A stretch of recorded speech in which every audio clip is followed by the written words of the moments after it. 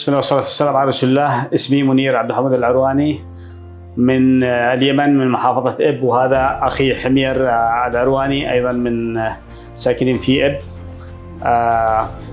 جينا قبل شهر ونص إلى مدينة بانجلور إلى مستشفى سبارش وهو يعاني من حالة الصرع هو الكهرباء الزائدة في الدماغ أو ما يسمى بالإنجليزية and seizure.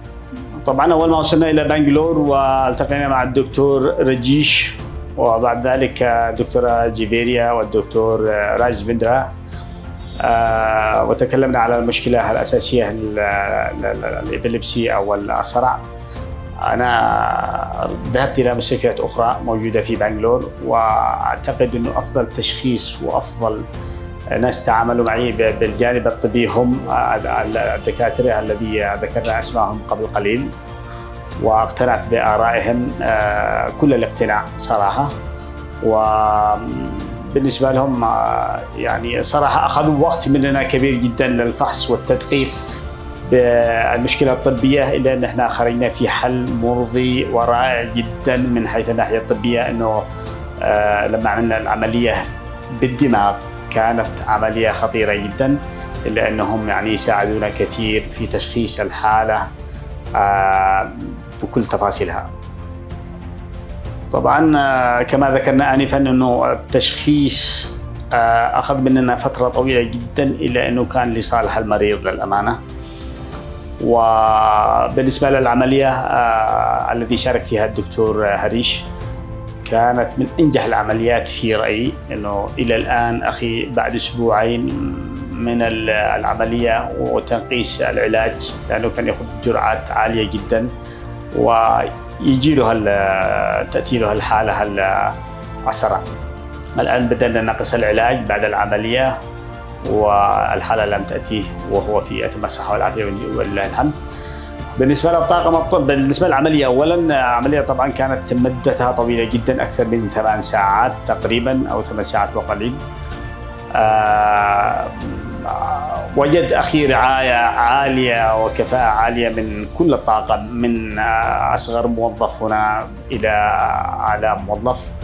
كذلك طبعا لما نزل من غرفة العمليات كان الطاقم الطبي صراحة رائعين جدا بالتعامل رائعين جدا في الخدمات حقهم بالتغذية بمتابعة العلاجات بكل التفاصيل الذي يمكن أن تقال يعني أنه مستشفى فعلا وجدنا فيه خدمة رائعة جدا.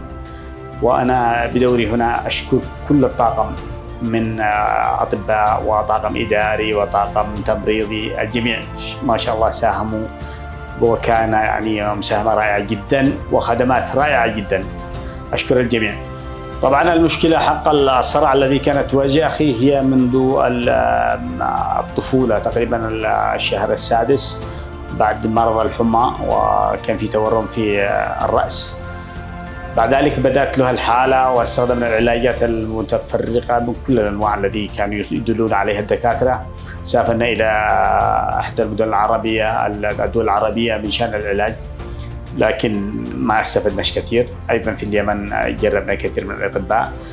حتى وصلنا إلى مرحلة من المراحل إنه العلاج ما عاد يفيد. فقط العملية الجراحية أو التدخل الجراحي هو الحل الوحيد.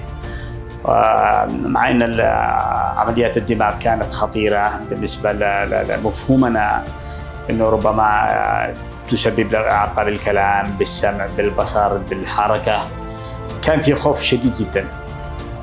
أيضا أذكرها مرة ثالثة إنه كان التشخيص دقيق وعالي جدا وأخذ منا وقت وجهد كبير آه لدرجة إنه كنا نستغرب ليش. لكن كان في صالحنا ولما عملوا العملية كان في أيضا في مخاوف والحمد لله آه كانت مخاوفنا آه ذهبت يعني لما شفنا الوليد تحسن بالعلاج وما جاتلوش الحالة وكل الوظائف على أفضل ما يرام.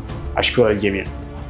بالنسبة لحالة الإبليبسي أو الصرع آه للأمانة أنا كان في معي آه ابن صديقي آه المقرب وأيضا أخو زميلي وقد بدأت يعني دعيتهم إلى أن يأتوا إلى مستشفى سبارش لكفاءة الدكاترة والخبرة العالية ودقة التشخيص في هذا المستشفى ونصيحتي للجميع الذي يعني لديهم نفس الحالة هذه الصرع أن يأتوا إلى مستشفى أسبارش لأن الدكاترة هنا ذو خبرة عالية ولله الحمد. أشكر الجميع.